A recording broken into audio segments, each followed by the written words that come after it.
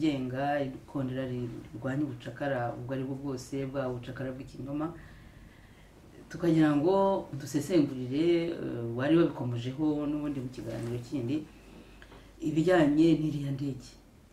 Ikibazo cy'indege ya habyarimana gikunze kugaruka mu bintu byose gikunze kugaruka buri gihe gikunze kugaruka ngo ni cyo cyatumye umubano w'u rwanda n'ubufaransa utamera neza. Kuki icyo kibazo cy'indege gihangayikishije ubutegetsi bw'u rwanda? Hanyuma urakoze kongera kugira ngo tuvugane kuri icyo kibazo. Icyo kibazo ndagira ngo rwose cyumvikane kuko nagikozeho ankete zihagije. Kugira ngo wumve ibyabaye mirongo icyenda na kane ugomba kumva uko byagiye bikurikirana. Ni ukuvuga ko iyo ufashe icyemezo icyemezo gihamagara ikindi. Kigahamagara ikindi kigahamagara ikindi kigahamagara ikindi. Icyemezo rero cyo kwica habyarimana nk'uko nabivuze cyafashwe muri mirongo inani n'umunani umwaka ushira. Noneho baravuga bati kugira ngo dutere u rwanda tugomba habyarimana agomba kuba yapfuye. Bavuga neza impamvu. Baravuga bati habyarimana naramuka apfa urupfu rwe ruzateza akaduruvayo ka politiki imbere. Noneho kuva muri mirongo inani n'umunani kugeza itariki makumyabiri z'ukwezi kwa kane muri mirongo icyenda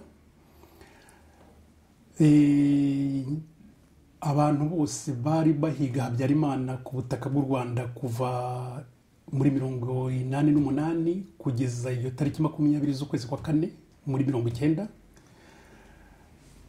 Barananiwe kumwica. Ahantu bagombaga kumutegera nahashyizemo mu gitabo cyanjye neza ni mu ruhengeri ni muri kigali no muri byumba cyane murambi kuko icyo gihe habyarimana yari afite ndumva yarakundaga kujya i murambi mu bintu bya turisime abantu benshi bari babizi sinzi impamvu yajyagayo. Noneho ubwo binaniranye itariki makumyabiri ni bwo inama yo kugabanyamo intambara yagombaga gutangira ari uko habyarimana apfuye bayigabanyamo ibice bibiri. Igice cy'intambara ntoya cyane y'agateganyo n'igice cy'intambara ngufi cyane yo gufata ubutegetsi. Iyo nama rero bayikoreye bayigiriwe na nyerere. Amfite bamaze kubona ko habyarimana bananiye bagiye kubaza nyerere kuko nyerere burya tanzania ririmo ntabwo abantu benshi babyumva iyo babona kagame arimo gutera tanzania n'iki byose ikibazo gituruka hariya muri tanzania. Bagiye rero babwira nyerere baramubwira bati nyerere ko habyarimana twashaka ko iyi ntambara kugira ngo yihute vuba. Twashaka kwica tukabona gutangiza intambara. Ibyo tunaniye yatunaniye. Tubigenza dute? Umwaka urashize tumuhiga ku butaka. Nuko nyerere arababwira ati murabizi abantu muri bicucu cyane. Reka mbereke amayeri y'imeza mugende mutere mwice mudeturize ibintu noneho muhite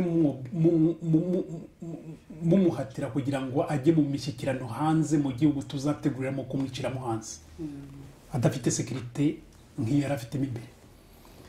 Ikibazo rero nyerere yagize ni uko ni tanzania bagize ko ariho habyarimana agomba gupfira. Ariko nyuma rero nyerere yagize ikibazo.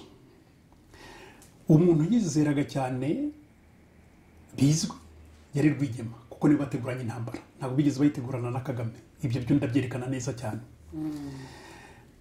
Rwigema apfuye bagashyiraho kagame. Kagame wagiye yungwa na nyerere inshuro nyinshi amwungana rwigema kubera amakosa yakoraga nyerere ntabwo yigeze yishimira icyo kibazo cya ntuza cya kagame ko ajya kuyobora fpr ntabwo rero nyerere yigeze yemera kagame ntabwo bigeze baca wera nuko ubwo intambara iratangiye itangiye icyabaye ni uko habayemo ibintu bitari byateganyijwe byinshi. Nakubwiye ko icya mbere ari uko rwigema yapfuye.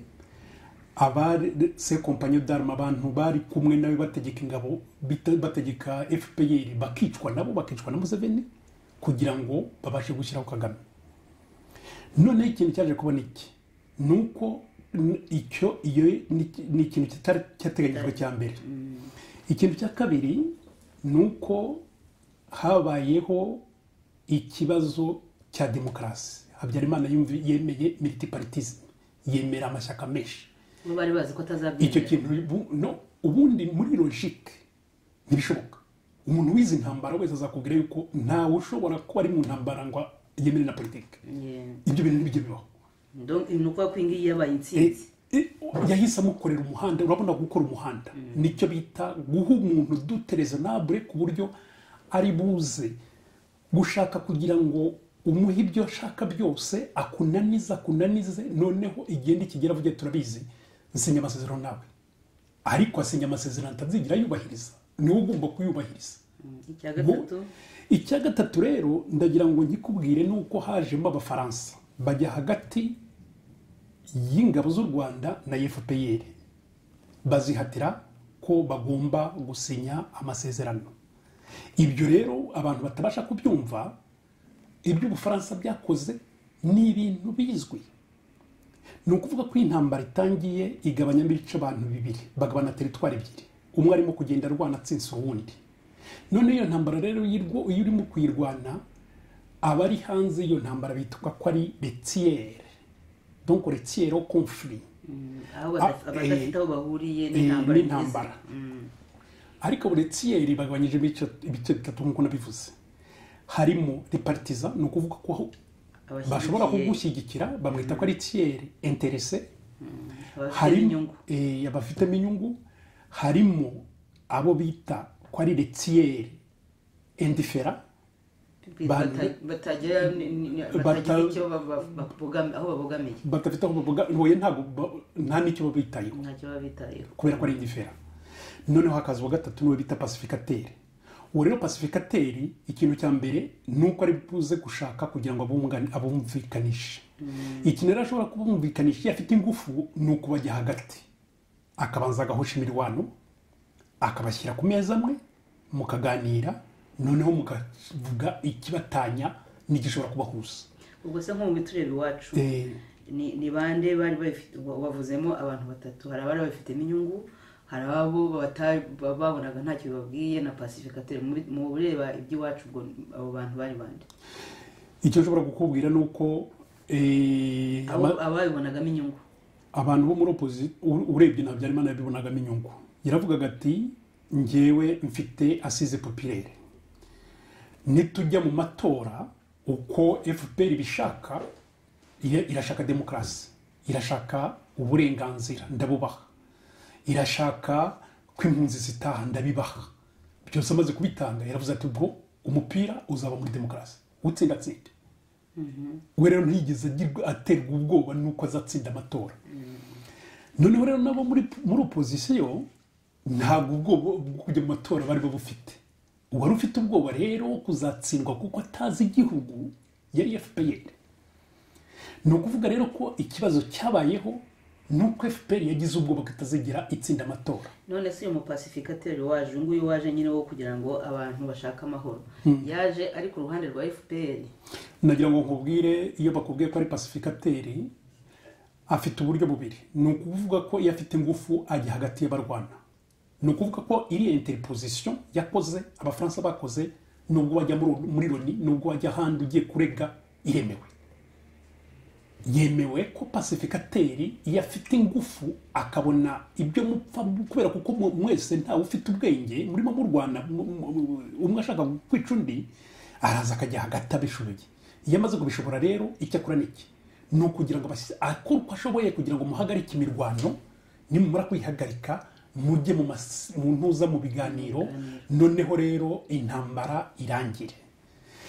Iyo ntambara rero kugira ngo irangire ni uko wenda abantu ndashaka kugira ngo nizimbe mu magambo nakubwira impamvu iri buze kurangira n'itari buze kurangira. Ariko reka turangize ibintu byaje gutuma imprevi izo imprevi zabayeho. Eh, twari tugeze ku ya gatatu Ya- y'abafaransa iya mbere ni uko rwigema yapfuye.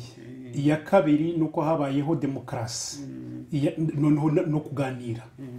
Iya gatatu ni uko hinjiyemo abafaransa bafite indarume pacificatrice. Batari bateganijwe. Iya gatatu ni uko yari reberiyo monoyetinike yagombye kujya gushaka abahutu kugira ngo ibashe kubakoresha. Ni ukuvuga ko cyari igisirikare kigizwe n'Abatu- n'abatutsi n'ubwoko bumwe ni igisirikare cyari kigizwe n'abatutsi ibyo ni ibintu byumvikana. Byabaye ngombwa rero kugira ngo berekane ko atari ubwoko burwanya abandi.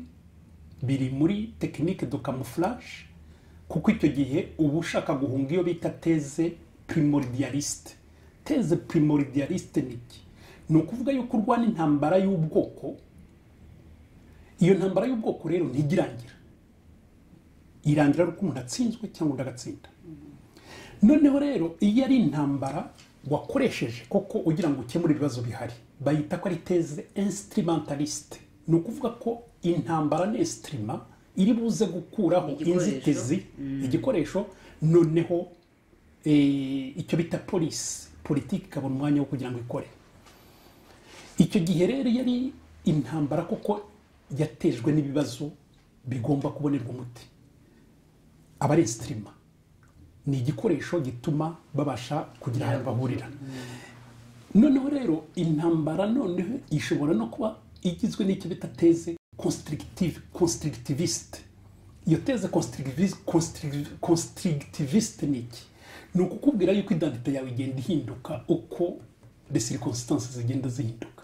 Identite yawe muri kamere ugenda uhindura ikintu cyubaka ubu munsi ukaba umuhutu ubu munsi ukaba umuhutu ejo ukaba umututsi ejo ukaba umu- umufaransa ejo bundi ukaba umuyahudi ejo bundi ukaba donc ntugira identite uko situation ibaye urayifata wabona ikwavantaja ukayifata uka- ukita ibyo bikaba byarabaye iwacu Eh. aho ah, ni cyo fpr yakoze kuko yaje irwanira demokarasi nyamara mu mpapuro nashyize mu gitabo cyanjye ndabyerekana nkerekana yuko niyo babasha gushyiraho inzego zemejwe na rusha fpr yari yateguye ko hazaba icyo bita escalade di conflit amatora atangiye nk'uko byabaye mu bugande. ni iki kijyanye na no, kwihindura nka nka kamelewo Mm. uyu munsi twabaye umututsi twabaye umuhutu ejo bundi ukaba utagira ubwoko nk'uko nyine ubivuga. Ibyo byarabaye muri muri iriya eh, ntambara y'iwacu. Icyo nshobora kukubwira ni uko urugero ndaruguha kugira ngo bijye byumvikana. Abarwanaga barwanaga ko baje kubohoza abatutsi kandi ko abatutsi bakandamijwe. Bamaze kugeza ku butegetsi ubwoko bwahise ngo ntabubaho nta bwoko bubaho. Icyo ni ikikwereka yuko intambara yabeshywe kera cyane. Iyo rero urebye it- byatejeje intambara ukareba uko yagiye iba ukareba ibyo igezeho ni cyo kibazo. Ndagira ngo nkubwire ko muri mirongo itanu n'icyenda ikibazo cyateje ibi ngibi ni uko ubwami bwavuga ko nta moko baho kobwa abatutsi n'abahutu batagomba kugabana ubutegetsi kubera ko nta moko haba. Aba ngaba bageze ku butegetsi baravuze ngo nta bwoko buriho nyamara umuntu atsindira ku manota mirongo itatu n'atanu ari umututsi akajya muri univerisite hari za farije hari za arije hari parenaje hari iki? Uravuga ko nta mututsi uriho? Ariko umuntu wese arabibona ko umututsi ariho. Icyo rero ni ikikwereka ko identite ikibazo si ubwoko hagati y'abahutu n'abatutsi ikibazo ni abantu bashaka ubutegetsi. Ni agatsiko karwanira ubutegetsi ikibazo ntago ngewe nigiriyeyo ufasha abahutu n'abatutsi ukabaha amahoro ku mirima yabo n'akazi bakora icyo kibazo cyakemuka. Ikibazo rero ni abantu bitwaza ubwoko bafitemo inyungu noneho bakagera ku butegetsi bagakora ibyabo. Ubwo ah, bitubigezeho turimo kuvuga impamvu kuki buri gihe ikibazo cy'indege ndagira ngo ndangize kuri icyo kintu. Navuze ko ikintu cyateje nako impamvu zateje intambara iba ndende cyane hari icyo cy'urupfu rwa rwigema hariho eh, demokarasi yafunguwe na habyarimana amateka agakora iya gatatu ni abafaransa bishyize hagati y'abarwanaga kugira ngo bibafashe kugira ngo barebe igisubizo cya politike kuko ni cyo fpr yashakaga. Iya kane ni uko reberiyo yari igizwe n'ubwoko bumwe yashatse ubundi ijya kubushakisha kugira ngo yerekane yuko ari abanyarwanda barimo kurwanya ubutegetsi bubi bwa habyarimana bose bari kumwe. Ntabwo ariko byari bimeze. Cyo kora icyo nakubwira ni uko abo banyarwanda koko bavuye mu rwanda bahaye inforomasiyo zihagije. Fpr nizo zatumye itsinda aho yabikoze neza cyane. Intuza rero ya kane empurevi ni uko icyari kigamijwe kugira ngo abantu babyumve. Kuva muri mirongo icyenda kugeza itariki esheshatu icyo gihe twari tukiri mu cyo bita operasiyo indiregite ni iki ni ukukubwira ko iyo ntambara yagombaga kurangizwa n'urupfu rwa habyarimana. Fpr yaje kigali ije guhiga habyarimana kubera yuko revolisiyo yananiranye bashakaga kugira ngo barwanishe noneho baze kwinjira muri iyo revolisiyo ba- ba- ba- ba- bafate ubutegetsi bibananiye. Icyo bakoze rero ni ukwica habyarimana ya ntambara bakoreraga mu baturage la guerre de la population bakayitransiforomamo inigeri contre la population ariyo yahindutsemo jenoside ibyo rero muri scientifiquement niko bigenda. Iyo urwana intambara mu baturage la guerre de la population iyo ntambara abaturage ntibagushyigikire kandi urimo kurwana gerira kugira ngo urwane gerira ugomba kwerekana yuko abaturage bagushyigikiye iyo batagushyigikiye rero intambara yawe urayihindura ukayirwanisha ku baturage. Ikaba guerre contre la population. Uko izarangira rero irangirana na jenoside. Noneho rero reba noneho ufashe umuntu wari ufite asize populaire mu baturage wari ufite abaturage bamwumva ukagira gutya ukamurasa icyo abaturage bareba bene wanyu bagushyigikiye icyo bazakora. Kagame yarabizi yarazi neza yuko igihe cyose azakora kuri habyarimana yaragiye yica abantu ko byumvikana abantu bakigomwa ntihagire ikintu gikorwa ntihagire umuntu uhohotera undi. Hanyuma nyuma ukaza kuvuga ngo wishe habyarimana kandi wari uje i kigali uje gushyiraho inzego za leta ngo ikibazo gikemuke urumva ibyagombaga kuba nyuma. Ikindi rero abantu batabasha kumva ni uko na byo ngira ngo byumvikane ni uko kagame si ubwa mbere yica abatutsi. Intambara yose yakoze yishe abatutsi abaziza ko ari abanyabwenge ko nibagera mu rwanda. Baramutse bageze mu rwanda abo bantu bafite bene wabo bazicarana kubera ko ba- ba- babanye noneho bakabatwara imyanya bashakaga. Ikindi bagomba kubyumva ni uko abagogwe bishwe. Itariki za kangahe eh, z'umunani mu kwezi kwa kabiri muri mirongo icyenda na gatatu. Nyuma bwacya bakica abantu muri za ruhengeri za hehe hose. Ndagira ngo nkubwire ko barya bishwe n'abakomando ba fpr ni fpr yishe abagogwe? Abo bagiye bakagerekaho habyarimana muri kibirira na hehe? Kugira ngo ibone impamvu yo kujya kwica abahutu bo muri za ruhengeri? Bari bafitemo abasirikare benshi kuko abasirikare baturukaga za ruhengeri za gisagara n'iki byose noneho kubera ko ari bo bafite ubutegetsi barakare birohe mu baturage noneho ya revolisiyo ishoboke ibyo bifitiye ubifitiye ibimenyetso. Ariko birimo mu gitabo nanditse rwose ndagira ngo mujye mubisoma mubisome njye nabyanditse ndabipuruva neza. Kandi niba ashaka kugira ngo nzabimwereke ndagira ngo rwose ashyireho iya kete ndayiteguye ntanyice ejo bundi nareke tubivuge tubwire abanyarwanda ufite ubwoba wikorera kwica icyo rero nshaka kukubwira ni kimwe burya ntabwo ndi umuntu ufite ikibazo cy'uko ngomba gupfa ejo icyo kibazo ntikijya kibaho iwanjye none se kuki kuki ihanurwa ry'indege urimo kutubwira yuko wowe ufite ibimenyetso bigaragaza yuko ari fpr yahamye iriya ndege kubera ko byari byarateguwe ni iyihe nyungu? Ni iyihe nyungu ubutegetsi bw'i kigali bwaba bufite iyo guhanurwa kw'indege eh, bubigeretse ku bafaransa? Icyo nashatse kukubwira nakubwiye ko eh, jenoside yabanje gutegurwa n'umutima wanjye na roho yanjye yose ntawe uzabimburanya n'iy'abahutu iy'abahutu inaniranye kubera ko habyarimana atapfiriye icyo gihe ngo baze bamare abahutu byabaye ngombwa ko abahutu bapfana n'abatutsi. Kandi ibyo barabyivugira. Baravuze ngo abahutu abatutsi bo imbere mu gihugu babahindutse abahutu mu mitekerereze ariko ku mubiri bakomeza kuba abatutsi. Ni ukuvuga ngo mu mutwe ntibafite ideoloji abatutsi b'imbere batahunze bakomeje kuba abatutsi ku mubiri ariko mu mutwe babaye abahutu.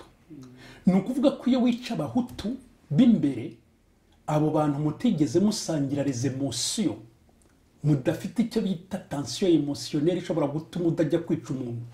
Bo bagiye babahitaho abahutu barimo kubica cyangwa n'abandi bashyizemo bakigendera bajya gufata ubutegetsi abatutsi barimo kwicwa. Ni ukukubwira rero ko kagame yarazi neza ko ibyo yakoze ni cyo yashakaga. Ko bica abatutsi akabona impamvu afata ubutegetsi anakomeza no kurwana. None se kuki eh, ni ihanurwa ry'indege akomeza kuki bashaka kuryegeka ku bafaransa icyo ashaka kukubwira ni uko eh, mbere ntabwo babihishaga kubivuga. Ni abantu babivugaga ku mugaragaro amfite kubera iki? Impamvu kagame afite iki kibazo ni ikihe? Burya niyo mpamvu mvuga ko abantu ba- batabasha kumva ibintu ikintu bita norume norume kugira ngo ibashe gufunkisiyona ni ngombwa ko abantu bayibonamo bakavuga bati ah nabonye kanakuri yahanwe sinshaka kuzahanwa nawe. Noneho icyo kintu cyo kubona ko ukora ikibi ushobora kumuhana gituma udashobora ugira nawe ikibazo cyo kuvuga uti ariko nanjye nazahanwa nkawe ba museveni bava kwa museveni bariya bantu rero nta kwica byari byabaye umukino.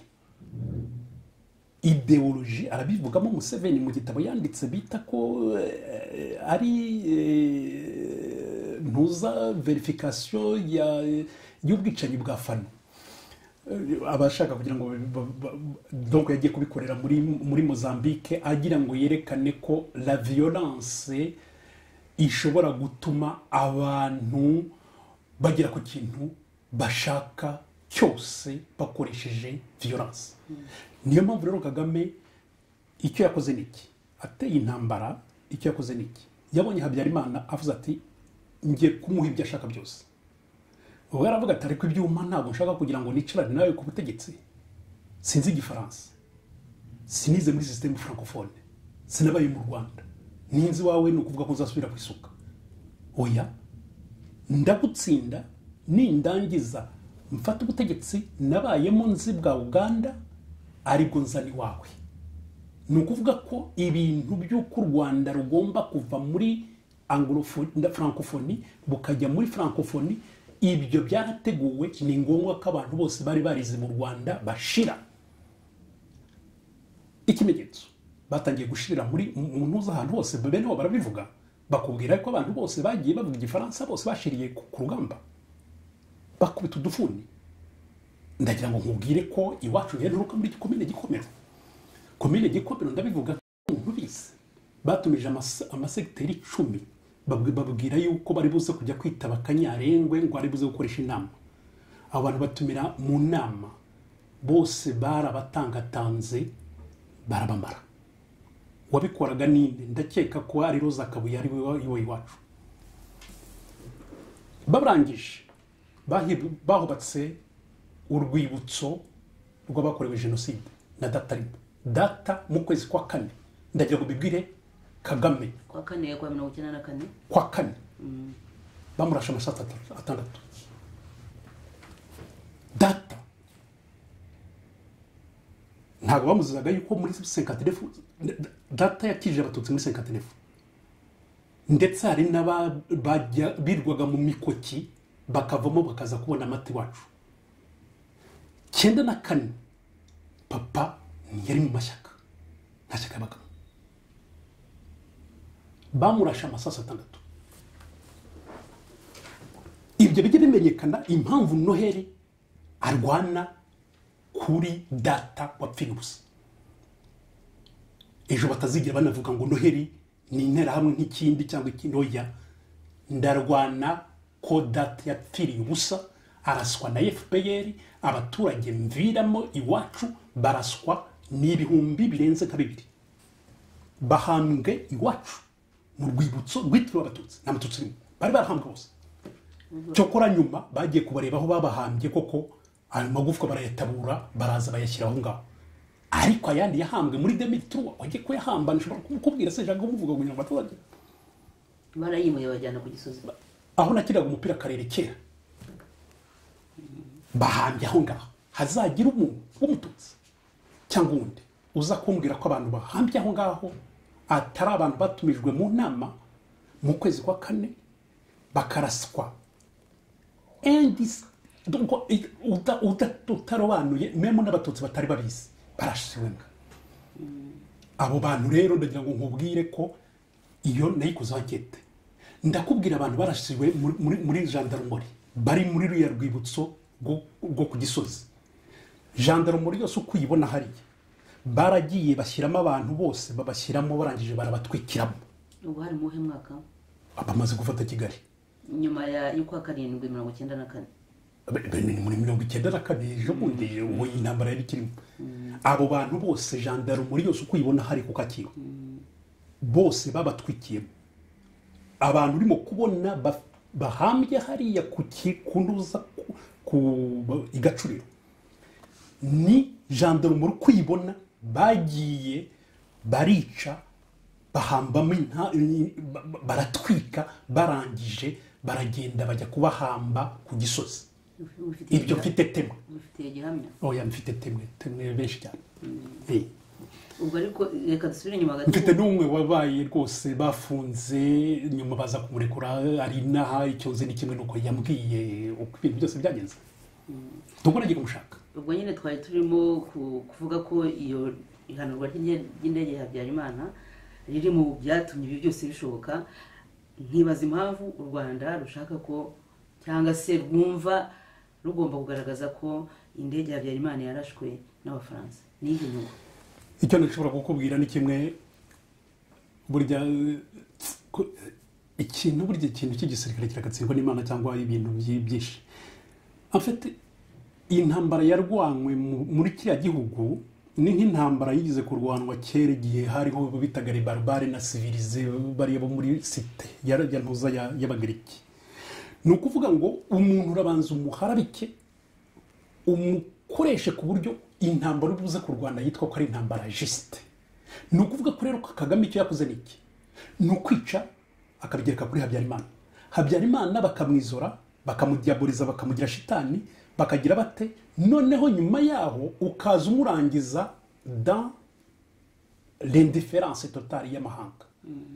Ukamwica. Amahanga yaramukuyeho amaboko Eh, eh, yose. Mm. noneho bakavuga bati n'ubundi cyari ki- ki- cyari shitani n'ikigende? Ibyo rero ugomba kubimenya. Ugomba kumenya impamvu urimo kureba ukareba impamvu bayishenye.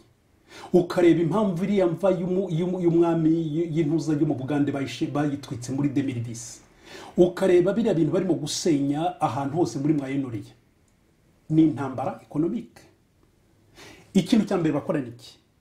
Ni ugukeya les emotions abantu ukagenda ukamenya ikintu gifite eh, eh, kiri sharije d'histoire. Wamara kukimena abantu batazi ibyabaye noneho bakavuga bati ah murareba ibyo bamaze gukora? Bariya bantu ni ni amashitani iriho kujya kubarwanya. Icyo gihe rero umuturage wo muri za demokarasi z'i burayi we azahita yumva yuko intambara ugiye kurwana ariyo kujya kurwanya rebarbari icyo bakoze ni iki? Ni ukubanza kwerekana ko habyarimana n'interahamwe ze ari de barbare.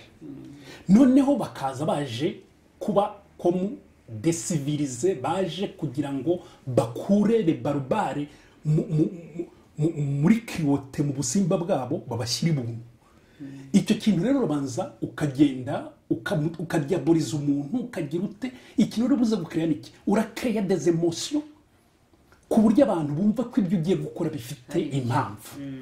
Icyo rero yakoze ni iki? Ni ngombwa ko abantu b'imbere babanza gupfa amahanga agakura. Ingabo yari yazanye ingabo zari zaje zije gutega habyarimana kugira ngo zirebe intwaro afite zitegura intambara ya nyuma ya rurangiza. Solution finale.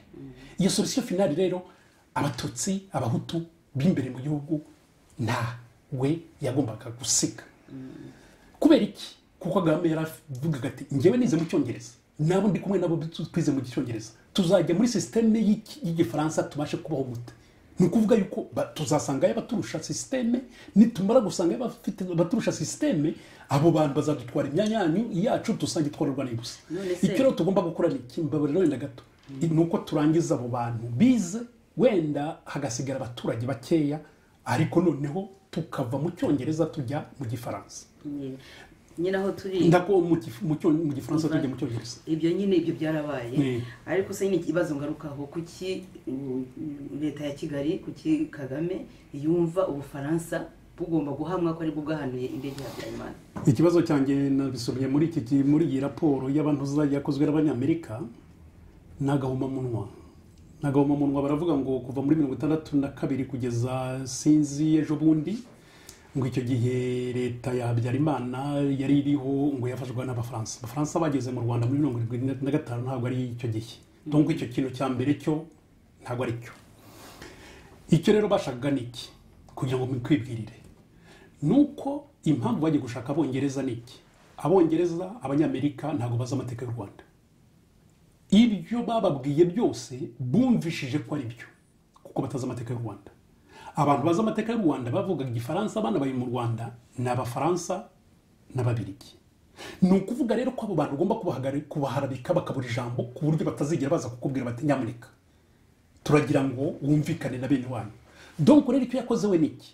Ni ugukora ku buryo ababirigi bakoze jenoside muri mirongo itanu n'icyenda bakuraho ubwami? Abafashije abahutu bose bakoze jenoside ni ukuvuga yuko iyo urangije gufata abo ngabo ukabereka ko nta jambo bafite ugafata donc abantu b'ibihangange bu- ububirigi bwakoronije u rwanda ugafata abo- aba- aba- abafaransa ba- bari icyo gihe bashaka kugira ngo ibibazo bi- bi- bikemuke. Noneho icyo ugomba gukora ni iki?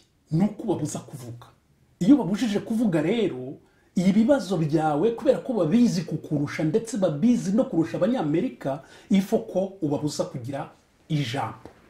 Iriya rero ndege na jenoside arimo kubarega ntabwo ari ikindi ni ukubaharabika kugira ngo abo bantu bazi amateka y'u rwanda batazagira icyo bavuga. Ibyo rero nutavuga amateka y'u rwanda uri hanze uri igihangange ab'imbere nabo kabaziba umutwe ntibagire icyo bavuga amateka azasibangana nasibangana hazasigara iki? Hazasigara iriya campaign against the genocide museum arimo kubaka yerekana amateka ye. hasigare filime yashyizeho y'inkotanyi yerekana ndagira ngo uko intambara yabaye. Umuntu ushaka kugira ngo abimenye nasoma igitabo nanditse mubabarire iyo mbivuze arababucya bambwira ngo kiri hehe nkaho bumva yuko kwandika ari ugupfa kwandika gusa. Icyo nshaka kubivuga ni kimwe. Bazagende barebe iyo nkotanyi igizwe n'ibice bitatu. Igice cya gatatu ni terere ebyiri niko intambara y'u rwanda kagame yayirwanye yagomba kuyirangiza akoze kampanye de terere arangiza abanyarwanda b'imbere. Noneho mureke tu ibyo rero ni ni- ni ukugira ngo mbashe rwose gutsindagira icyo kintu. Iyo nkotanyi kagame we ubwe yivuyemo nk'inopfu. Ni uko intambara yayirwanye niko tubifitiye ibimenyetso tuzabyerekana urakoze bwana noheli nagira ngo tugane ku musozo eh, ni byo wadufashije gusesengura amakuru yabaye muri iyi minsi ishize ariko si ubu turebe noneho icyerekezo kizima icyerekezo wagira wa- watubwira wabwira abatwumva icyerekezo kizima ni ikihe? Dukomeze abantu bakomeze ba- barebere bategereze ko imana izagusha imvura abantu bi- bigende bite? Ndagira ngo mbabwize ukuri eh, ugomba kumva impamvu ibintu birimo kuba muri ruriya rwanda. Nakubwiye ko abantu ntibigeze bamenya yuko fpr barwaniye yari igabanyijemo ibi- ibice bibiri. Hari fpr ariko c'était une organisation clandestine. Ni ukuvuga organisation z'uko nabivuga ni ukuvuga ibyo mwabidusobanuriye Eh, nyine ko eh, ibintu byabo byose byari eh, bitagaragaraga. ni ukuvuga yuko fpr inaniwe kumvikana na museveni ko bashyiraho igisirikare kimwe.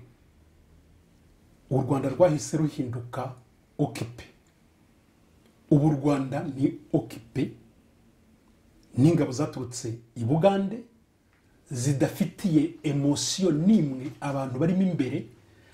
Abo bantu rero kugira ngo babashe kwikuraho iyo okipasiyo kagame ni cyo yatuciriyeho amarenga yaravuze ati kuva u rwanda rwabaho ni rutangiye kwigenga ngeze ku butegetsi dore intambara yarwanaga yari iyo kurokora abatutsi. Yari iyo inigeri indepandanse niyo runari yarwaniraga muri mirongo itanu n'icyenda. Yarwaniraga indepandanse ni ukuvuga ko muri mirongo itanu n'icyenda kugeza ubu ejo bundi kagame afata ubutegetsi iyo ntambara yarwanaga na runari niyo kagame yaje aje kurangiza. Amaze kuyirangiza rero ndagira ngo nihute. Icyo yakoze ni iki? Yaravuze ati ntabwo nshobora kwemera ko habagira politiki ikinirwa hano. Intambara irakomeza. Iyo ikomeje rero ubibona ute? Iyo umuntu yanze politiki nakubwiye ko kugira ngo ubu ukore intambara ugomba gukuraho politiki cyangwa se ukaba uyihagaritseho gato. Iyi politiki yongera ari uko ibi bibazo politiki yari nako intambara irangiye. Intambara rero yo mu rwanda kagame nk'uko yayiteguye ntabwo ari we yiteguye yateguwe n'umupolitisiye witwa museveni azi neza yuko na kagame namara gufata aho ngaho bazakora igihugu intuza ingabo zimwe bagakora igihugu kimwe. Icyaje kuba rero kimwe ni uko kagame sigeze ategura intambara n'umusirikare ukiri mu ntambara. Kuko ntiyarangiza intambara atigeze ategura.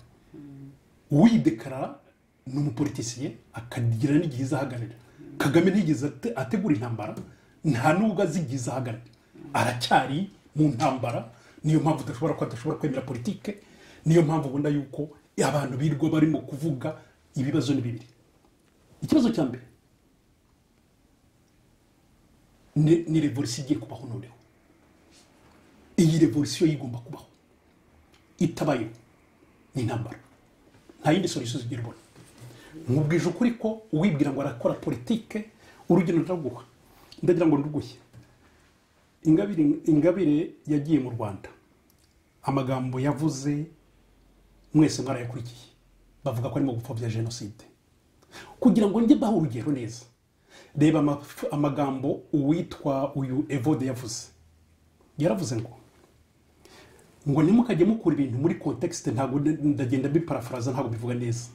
Ngo ntimukajye mukura ibintu muri kontekisite ngo iyo ufashe ibintu byose ukabyita jenoside yakorewe abatutsi. Ngo icyo gihe uba ushaka kugira ngo uvangavanga ibintu bidahuye. Ngo ese ibingira wagiye akamara imbaga z'abantu nawe umwita victime ni victime wa jenoside. Arabivuga arongera ati ese iyo ufashe umuntu w'umusirikare wavuye uganda yikoreye karacinikova azarwana bakasitari bakamurasa. Nubwo nawe yaje kwicwa nyuma ese uwo muntu uzamwita victime? Arongeraho ngo abantu bishe abasenyeri hari igakurazo ko nabo bari abatutsi ese abo bantu nabo uzabita victime. Arakomeza icyo yarangirijeho yaravuze ngo ibyo bintu ni ukujijisha ni ukugira ngo abakirimineri baturutse uganda no mu burundi baze biyoberanye nabo biyitaba jenoside bakomeze gahunda barimo. Uwo muntu ntiyigeze acibwa yuko yapfobeje jenoside. Ubu ni minisitiri. Ntabwo umucikacumu wigeze akora avuga icyo rero ntabwo witwa ingabire yigeze avuga ibyo ngibyo ibyo rero nagira ngo nkwereke yuko ibyo bakubwira ngo ideoloji ya jenoside ngo iki? Ntaho bihuriye kwa kagame. Iyo umukorera nubwo waba warakoze ishyano uramukorera niko byagenze. Abantu barimo bakora jenoside yaraje abashyira mu gisirikare bamwe bakagenda wenda bikiza buhoro buhoro ntawigeze avuga ngo arafata ngo mbwira intera ahantu hari intera hamwe vurema ugomba kumbwira uti aba bantu dore ibyo bakoraga. Turabashimiye murakoze rero ubwo tuzongera tubashake n'ubundi n'ikindi gihe kugira ngo mujye mudufasha hamwe n'abakurikira ibiganiro by'ikondera libure mujye mudufasha gusesengura no gutanga amasomo ubwo turabashimiye murakoze. Rwose urakoze nawe icyo nzi ni uko njye niteguye gutanga umwana wanjye kubera iki? Kubera kuko niyemeje ko ngomba kubwira baba abahutu baba abatutsi nkababwiza ukuri kugira ngo babashe kubana muri kiriya gihugu. Kubera iki? Kubera kuko mu myaka makumyabiri n'ingahe mbayeho naje kubona yuko bariya bantu bameze nk'aho bahumye ni nk'aho ibiba batabibona. Ngewe icyo nabasha kuvuga ni ukuvugira ngo mbashe kubabwira yuko kamemu abantu bose atari bo narihanganye igihe kirageze kugira ngo mbabwire ko ibihe number.